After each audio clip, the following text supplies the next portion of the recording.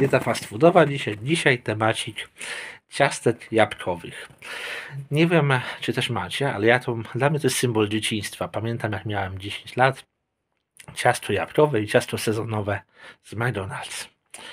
I stałym elementem zawsze menu w McDonaldzie było ciasto jabłkowe, natomiast ciasto sezonowe pojawiało się latem oraz jesienią, gdzie były te owoce leśne, albo było z owocami leśnymi, albo było z owocami, z wiśniami. E, to były właśnie owoce albo letnie, albo owoce jesienne. Obecnie w, McDonald, w wersji McDonald's Poland mamy e, ciasto jabłkowe. Ciasto sezonowe pojawia się latem, przy czym nie jest ono równolegle z ciastem jabłkowym, tylko jest zamiast niego.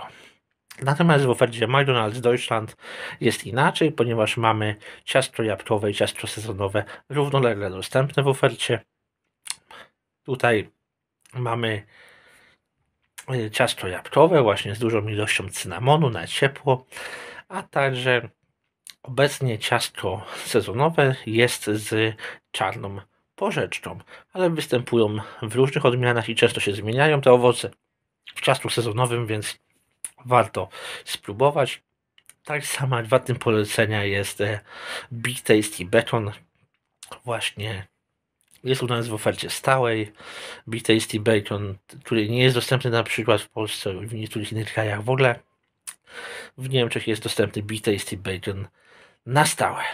Więc warto, ponieważ niezmiernie od wielu lat jest wspaniałą kanapką i na pewno będzie Wam dobrze służył.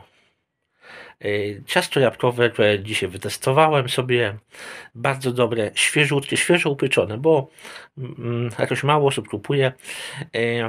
Świeżutko upieczone było gorące, ciepluszkie, wnętrze było gorące, ten zapach cynamonu wszędzie się roznosił, chrupka zewnętrzne ciasto, chrupkie zewnętrzne ciasto, w środku.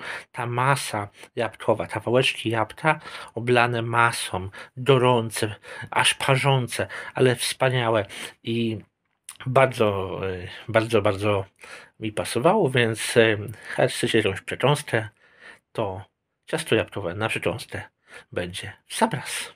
Trzymajcie się, buźka, papa. Pa.